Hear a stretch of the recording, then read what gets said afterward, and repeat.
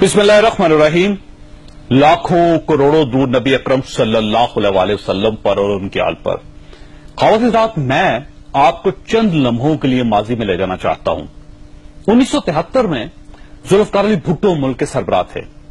कराची उस वक्त भी मुल्क का सबसे बड़ा शहर था।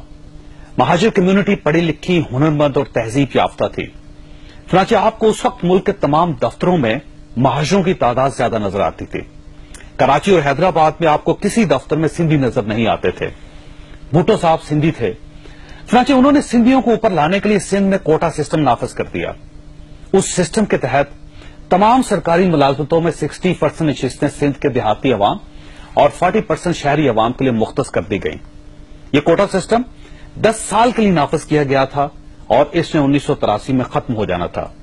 लेकिन बदकिस्मती से ये सिस्टम आज तक कायम है। आज तैंतालीस बरस बाद भी सिंध में मुलाजमतें मेरिट पर नहीं दी जाती। भुट्टो साहब के इस एक गलत फैसले ने सिंध का पूरा निज़ाम तबाह कर दिया। सिंधी वडेरों के नालायक बच्चे आला उहदों पर फायज होते चले गए, जबकि पढ़ी लिखी महजब और तजर्बाकार महाजर कम्युनिटी महरूमी के गड़े में गिरती चले गई इल्ताफ हुसैन जैसे लोग महरूमी के इस घड़े की पैदावार हैं। सिंध में अगर कोटा सिस्टम ना होता तो शायद मुहाजिर मुहाजिर न बनते। और इल्ताफ हुसैन महाजर कार्ड इस्तेमाल न कर पाते। शायद महाजर पिस्तौल भी ना उठाते और शायद हालात भी इतने खराब ना होते। हम अगर कराची में देर पर अमन कायम करना चाहते हैं तो फिर हमें कोटा सिस्टम जैसे इम्तियाजी फैसले वापस लेना होंगे।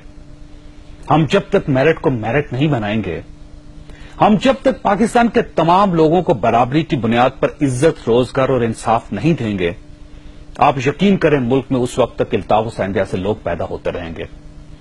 आप आज एक इल्ताफ हुसैन को गदार करार देकर सजा दे देंगे, लेकिन कल एक और इल्ताफ हुसैन पैदा हो जाएगा। आप उसको भी मारेंगे तो एक और आ जाएगा। हम कितने इल्ताफ हुसैनों को रोक लेंगे? चुनाचे हम अगर मसलों की पैदाइश रोकना चाहते हैं तो फिर हमें मसाइल की माँ मारना पड़ेगी।